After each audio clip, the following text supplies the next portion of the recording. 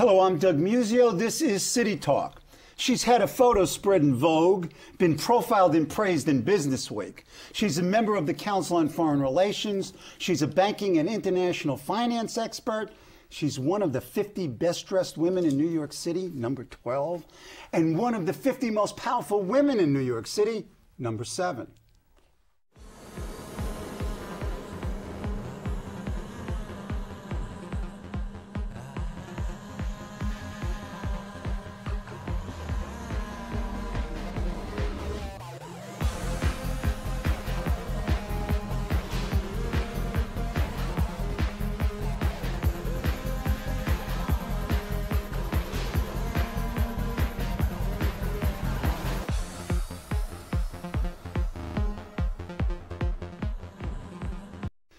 She's Diana Taylor, and she's currently managing director of Wolfensohn and Company, an international investment banking company. She's chair of the Hudson River Park Trust. She's chair of a commission for the Federal Deposit Insurance Corporation, and serves on the board on several significant New York City nonprofits. Welcome, Diana. It's a pleasure. Thank you, Doug. I'm happy to be here. Okay, let's get it over with. Is he running or isn't he? well, you know what? I'm biased. I think he would be the best president this country had ever seen. But you know what? You should look at what he said and ask him. Okay, very good. Let's go to the award you just received from the Citizens Union, the Civic Leadership Award. You're chair of the Hudson River Park Trust, and you give a lot of time to other civic and non nonprofit organizations. Let's talk about the trust first. The mission of the trust, its accomplishments, lots of stuff going on. Well, actually, it is an absolutely great. What it is is a park that's being developed on the west side of Manhattan along the Hudson River. And it was one of Governor Pataki's visions mm -hmm. as um, when he was governor. He was a great environmentalist. And the legislation was passed, I think it was 1997.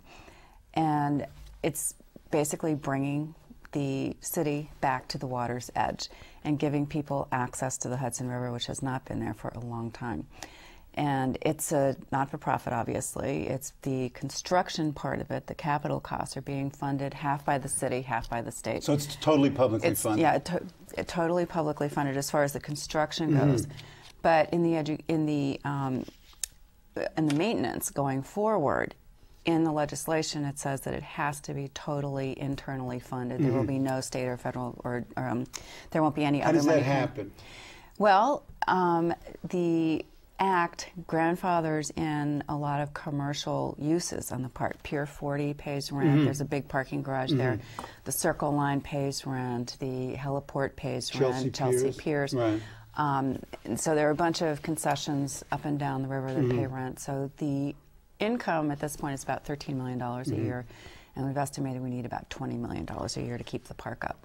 But until that happens, all the construction is being financed exactly 50-50 by the state and the city. It, it's really magnificent. I've walked and I've, I've, used it. It's unbelievable. And 17 million people a year. It's and, and, and, you'll have more. It's just gonna it's just going to attract people because as you said, the waterfront was never accessible. You folks there, there's seven well there were really six segments and it begins with segment two and we won't talk about that because we have, can't figure out what that is.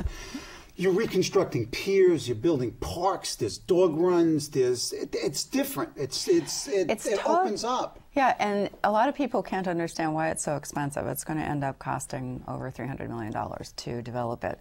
And you know, typical parks don't cost that much money, but this is an infrastructure project. You're talking about driving piles. You're building buildings on top of piles.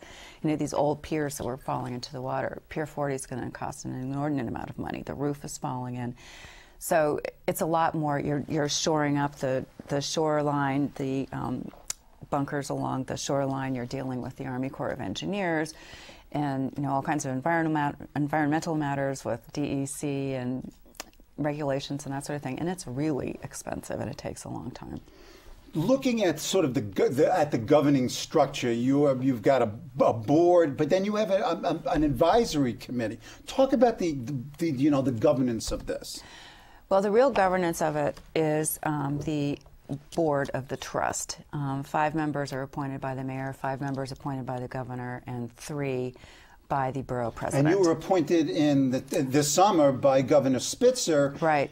Which was interesting that the Democratic governor named you to to chair this. That sort of signaled his commitment, given the fact that you really came out of the previous administration. Right. Well, I've been on the board for a long time. I've been right. on the board since 1998. Um, Governor Pataki put me on it initially, right.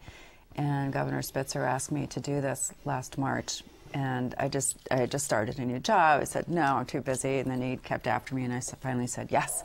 Because you know what, I went over there a couple of times and I looked at it and I said, this is really worthwhile. And I think I can add value here. And I'm hoping that we can push through those final pieces of the project and get it done.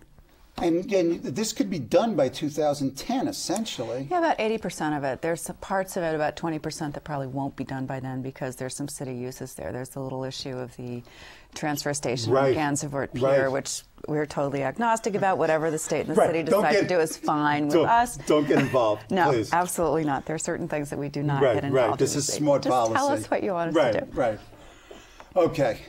So you've got that. Where does the waterfront go next?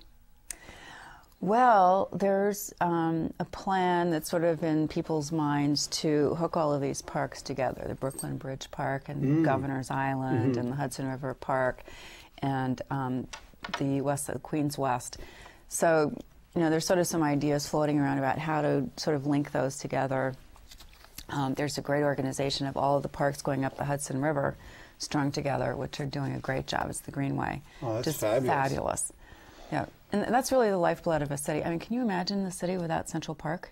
Right. Well, this is going to be Central Park on the west side. It's, uh, it's about the same it, size. In some ways, it's better because the river is so right. fabulous. There's kayaking and, and, boating and eh, sailing. There's so much going on, and on, yeah, and, and on top of it, the Jersey shoreline is getting nicer right. and nicer looking, yeah. so you can look across that way and not, right. you know, not not look at the devastation. Yeah, as a New Jersey resident, that's oh, a, yeah, which is you. which is a plus. This, the, the, award that you got from the Citizen Union men- mentions your efforts in a broad variety of civic associations. Talk about what else you're involved in. Well, I've always been really interested in women's issues and helping women um, in economic circumstances where they're not as well off as they might be. Mm-hmm. So I've become very involved with the New York Women's Foundation, which is probably about my favorite charity. It's great. It started about 20 years ago. And what we do is we raise money and give it to women's groups throughout this throughout the five boroughs, mm-hmm. based on you know low income women, giving them the wherewithal to earn a living, helping girls, young girls, helping with security situations. We give money to organizations that help women who've been um, incarcerated mm-hmm. or family members have been incarcerated. We help with girls' development, education, dance classes, that mm-hmm. sort of mm-hmm. thing. It's a great organization and it's come a long way and it's doing a lot of good. And it's a great way to go and see New York, too. What we do is we get proposals from about 100 different organizations in the city. And, and you we, have to go there. And we go there. We right. do the due, the due diligence. We go on site, see the programs, meet the people. You go places in the city that even I had never been before, which is right. saying something. And, and, and you must be one of the better traveled New Yorkers, given both that activity and walk, you know, walking around with the mayor. I mean, you've been everywhere. Well, I really shouldn't admit this, but okay, um, go ahead eight years ago, I had been to Queens to go to the airport. My borough? Your borough. Oh, right, man, exactly. Great. But there's you, so much there. I know, it's I know. Starting with, you know, the, the museum there. I mean, don't oh, start me with fabulous. I love it. Oh, it's, it's, fabulous. It, it's a resource, uh, almost unparalleled. Let's let's move to your, your your paid work. You work with Wolfensohn. You know, what do you what do you do there? What's the firm?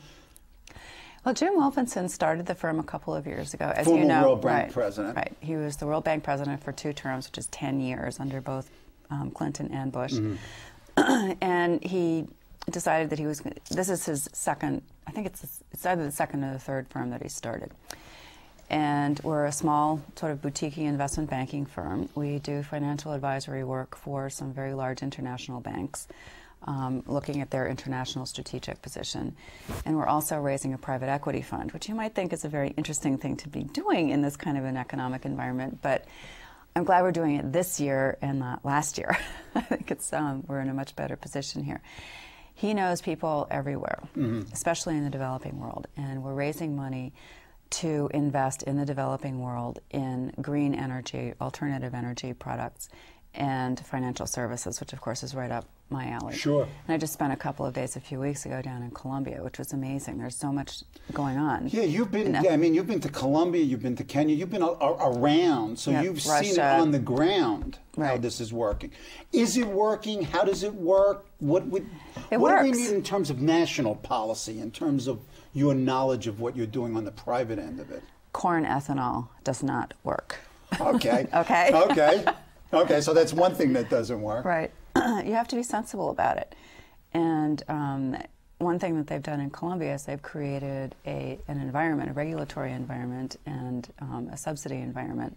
It's not really subsidies, but a sort of incentive environment that really works and that incents people to do things that are actually in the best interests of the development of the industry, as opposed to things that are just Specifically.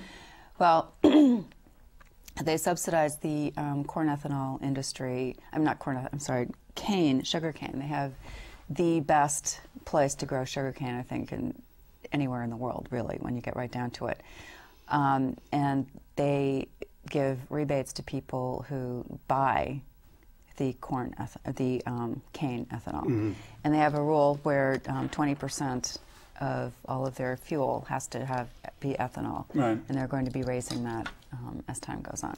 What what can we learn? You do a lot of work in the developing world. What what can we learn from them? We meaning the United States in particular, in terms of these types of development policies. Clearly, they're transferable.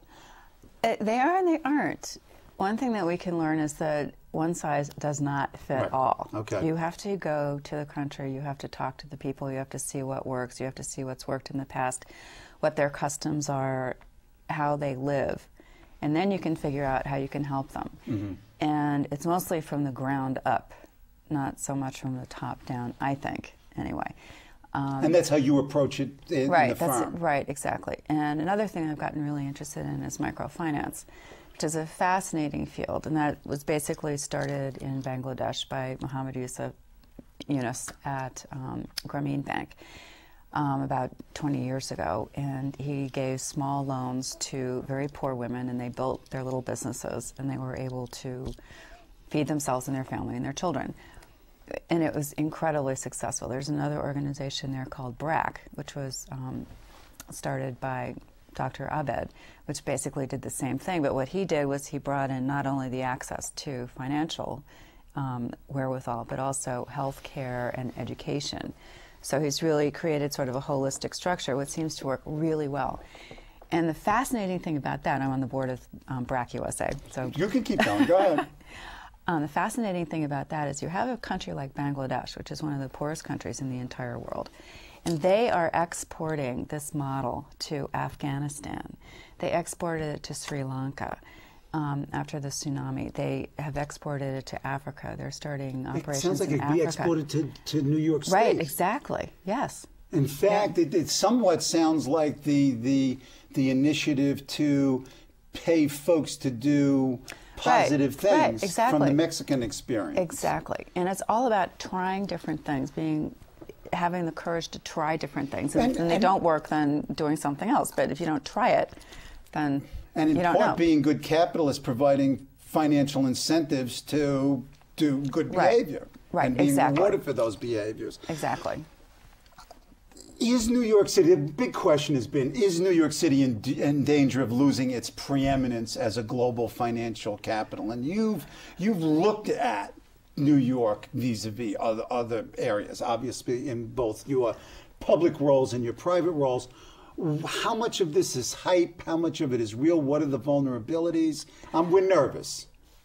I, I think it's a very good thing to be nervous. Oh, God, It's that's ve- not no, good. No, it is good. It is good because if you're a little bit nervous and you've got the adrenaline going, then you're going to be working really hard. And one thing that will kill us is if we stop being vigilant. Okay, And what, what does that take- mean? if we What do we got to do? We have to, well, I think that we have to do what the city's doing, which is make it safe. It's extremely safe. People want to live here. The schools are good. People want to live in New York. You hear of a lot of people coming here to live. You don't hear of a lot of people leaving to go live somewhere else. So I think the main thing that the city can do is make sure that it's safe. And that's something that the city has control over and the school systems. The next thing is the regulatory climate, which is a little bit of a different story. We don't have a lot of con- New York City itself Right. does not have a lot of control over the regulatory climate, but I think that the city is doing what it can itself. You know, building parks, making a great place to live, with the you know cultural institutions, as I mentioned, schools. It's safe to walk around the streets. You know, you hear about other cities, and you know, there are all kinds of stories now coming from London and other places that people are afraid to walk around at night. That's not true here and that is the biggest. Is there is there are there fiscal or financial things that we have to do as well? Well, I think we have to be careful about our tax structure, um, how much we charge in tax wise. But then on the other hand, you know, you might have very low taxes, which is very attractive, but then you can't pay your police officers. So you have to weigh, you know, what are you willing to pay for Right. in order to make a place a better place to live. So, and I think that we've got a pretty good balance here. Okay, let, I want to step back a little bit in your days as New York State banking superintendent. That was a great job. you can, you know what? You can tell. That was you a can tell great that job. you love this job. I did, I mean, I did. as I told you off camera, I've read. You know, I'm probably the only person who's read your last six speeches as as uh, state banking Did I say that superintendent. much? Wow. Well, there's four of them there because I only took notes on four of them, but you can see I, I, I highlighted, I underlined. Business Week characterized you as a street savvy bank cop. The subheadline reads New York State Overseer Diana Taylor is fiercely focused on protecting consumers. When you walked into that job, what did you what did you find what did you find the most appalling? What did you find left you scratching your head? And what led you to, to just move forward? That's a big question. Um, well, let me tell you, right after I started, I'd been at the banking department for about a week or two. This was in summer of, I guess it was 2003. And mm-hmm. I really shouldn't admit this, but I'd been an investment banker as a background, and so I didn't really know all that much about commercial banking regulation, and I barely knew that you know there was a federal charter and a state charter. So the, learning curve was pretty high. Um, Governor Pataki asked me to take this on, and I said, "Okay, fine." Then I went and started reading, and going, "Oh my God!" Well, I started reading this, and I right, said, "Oh, my. God." Anyway, so I'm down in Washington. I'm having a meeting with some people, some fellow regulators, just sort of getting acclimated, and I got a call from the office from these people who I'd been working with now for two weeks, and they said, "Well, something just happened." I said, "Well, what's that?" And they said, "Well, the comptroller of the currency." has just issued a notice of proposed rulemaking, which is sort of regulatory speak for, you know, we're going to issue this new regulation, basically preempting. I wanted you to talk about that. Go right, ahead.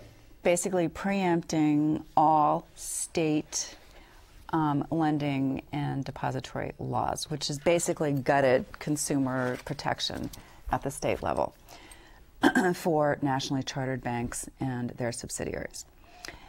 Well, and I said, that doesn't sound good, does it? they said, no, it's not very good at all. I said, good, well, we need to say something about it and, you know, issue a press release or something saying, this is terrible, we're not going to stand for this, what about the poor consumers? Well, it, and you see, I won't say that that has been, was the direct cause of some of the problems that we have now in the subprime mortgage area. Right. But I think that it was a contributing factor. And one of the things that I was I fought for the whole time I was banking superintendent was we need national minimum national laws having to do with consumer protection and how we look at mortgages. Because depending on what state you're in or where you are, you can have different laws.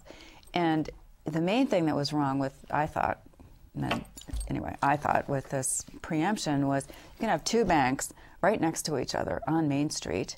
You can go into one bank and you're and take out a mortgage or a loan, and you are governed by an entirely different set of rules than if you go across the street. You, as Joe consumer, do not know that. And I was sitting at about that time at a dinner party with somebody whose name everybody would know, which I'm not going to say, who's very financially savvy. And we were talking about this question. He said, Oh, that's not a big deal. You know, everybody knows whether their bank is nationally or state chartered and what it means. And I said, Excuse me. I said, Okay, so do you bank with a nationally or state chartered bank? And he said, oh, I bank with a state chartered bank. And I said, Which one? And he said, Citi. And I said, Citi is a federally chartered bank. Okay, I rest my case. You made a friend. yeah, yeah, well, anyway, I did not rub it in. Okay, so you have this preempt, but first of all, you have this dual banking system. I, I mean, I just learned this stuff, so Mm-hmm. it's bizarre. It was and totally you've noted in one of your speeches that no sane person would put together this system. And it sounds like being, you know, a political scientist, Jefferson, Madison, and Hamilton had this argument about who's chartering banks. Right. Well, you know what? One thing to say about that, though, and another problem that I had with the actions of the control of the currency was this is a system that has worked very well. However, it's worked. It's complicated, it's difficult, but it has worked for a long time, and we have arguably the best financial system in the world. You know, people have access to credit, people can start businesses for the most part. I mean, there are obviously always people who are going to be left behind, and you work to solve those problems, but for the most part, the system works. And then for for somebody or one agency to come and sort of tinker around the edges with that, just unilaterally change the whole thing without really discussing it with all of the you know various and sundry stakeholders involved, I think it's really dangerous. Mm-hmm. And if you're going, and I'm not saying that it shouldn't be changed. I think it should be changed. And this is something that might not be particularly um, palatable to a lot of people, but I think that um, you know the Federal Reserve and the federal regulators should do the money, the regulation as far as the you know reserves and you know that sort of thing, capital requirements and all that sort of thing goes. And the states should do the consumer regulation mm-hmm. because it's the states who really know what's going on right. in their states, and there ought to be a floor mm-hmm. so that everybody's working from the same book. Now, with this with this preemption uh, banks then had the ability to opt either for a federal or a, you lost two major banks, J.P. Yes, Morgan well, Chase uh, and another, HSBC, and which is right. which was a big chunk of your income. Right. Well, one thing about the banking department, which is very interesting, which people don't really understand, is that it's a totally self-supporting agency. We do not get any money at all from the state coffers. Every cent that we get we get, or the banking department gets from assessing it, the institutions that it oversees. So that was sort of the first thing I thought after you know hearing this news, thinking, hmm, you know what, J.P. Morgan and HSBC do a lot of business across state lines, so they're probably going to be thinking pretty hard about changing their charters, and they did, and that took 30% of our revenues. And think of this as a businessman: 30% of your revenues go away, but your variable costs for regulating these institutions is virtually de minimis right. because these two very huge institutions were um, supporting most of the activities sure. of the banking department sure. because the banking department oversees 3,500, give or take, financial institutions in the state of New York, which includes about 300 banks, give or take, over 2,000 mortgage brokers, you know, 300 mortgage bankers, check cashers, money transmitters, you name it finance companies and that sort of thing. The, when I got there, the only institutions that were being charged an assessment were the banks. Right. So they were subsidizing everybody else. And the big banks were subsidizing little banks. So we had a serious problem. So one of the things I'm proudest of doing at the banking department is changing the assessment structure so that everybody is mm-hmm. assessed and each department is, you know, it's getting there. It's more or less self-sufficient. Right. So the revenues from their regulated entities support the operations of that department. And that's what we are moving towards. You you were very critical of the Security and Exchange Commission, as was uh, the Attorney General, uh, now Governor. You said that they did too much interested in getting malefactors after the fact and not enough on prevention and, and, and consumer education, which was one of your big things mm-hmm. as banking superintendent. Yeah, an educated consumer is one that's probably not going to be as easily ripped off. And that was the whole thing with the mortgage, the whole mortgage crisis. Oh, some of the stories are just horrifying. It must be unbelievable in terms yeah. of the, the human devastation, as well as the, the, the, the, the systemic fiscal impacts, right. if you will. Well, the systemic fiscal impacts are really quite severe, and you have a lot of cities, especially in upstate New York, where you know you have one or two houses that go into foreclosure, and the entire neighborhood goes yep. down yep. because nobody's yep. keeping up the property values. And you can say, and there's an argument which I'm very sympathetic to. You know, you take out a mortgage you, have got to be an idiot to take out a mortgage now for you know like a teaser rate of three percent or five percent or no interest or whatever. That's going to go up to something you know huge, like right, you know prime plus whatever five years from now. But the problem is that a lot of time this is not disclosed right. to the consumer. Sure. And it's just horrifying because you look at the evidence, and a lot of times it's you know it's the very, it's the poor and the minority populations and the immigrant populations that are really preyed upon on this. And there was a woman who came into my office about you know a couple months after I started, and she had maps. She was a consumer advocate. She's great. She had these maps, City of New York. Overlaid on that, she put low-income areas, you know, shaded low-income areas. On top of that, she put where um, foreclosures have taken place, and they're all in. You, same- you can guess. You can guess. Right. And then on top of that, she put a map of where bank branches are, And they're not there. and they're not there. And you- It's and you really dealt with that as- yeah, and we as- tried to deal with that with the um, banking development districts, which I think is a great program, because a lot of the time it's interesting. The problem with in the mortgage market is not so much with the mortgages that are originated by the banks. They're mortgages that were originated by mortgage companies, and they're the ones where, you know, a lot of the time you just don't know, you know, where it's coming from, and then the mortgages get split up and sold out into different portfolios. and Complicated. You're going to have to really come back and explain this because Yeah. we only have a minute. Oh, no. and in the last minute, we've got to do Vogue. the famous Vogue spread with titled "A Cool Charisma." From City Hall to from Wall Street to City Hall, government financial whiz Diana Taylor brings patrician elegance to the world of business dressing.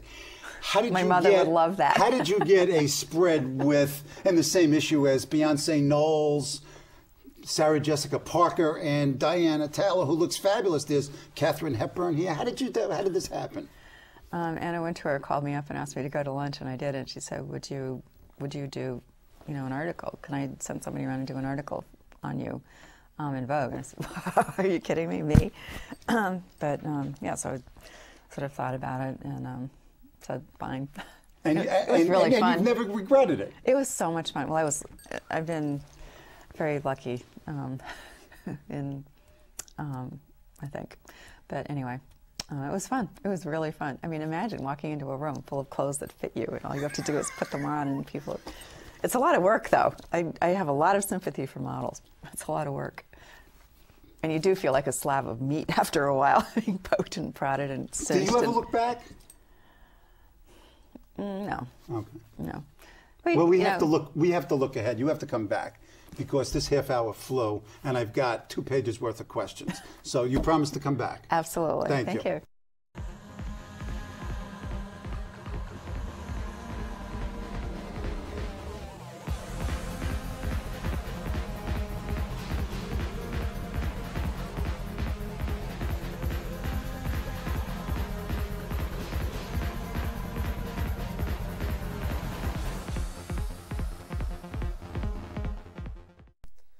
I'm Doug Muzzio. Let us know what you think about this show. You can reach us at cuny.tv. When you get there, click on the bar that says contact us and send your email. Whatever it is. Thanks, no thanks, obnoxious, do it. Send it.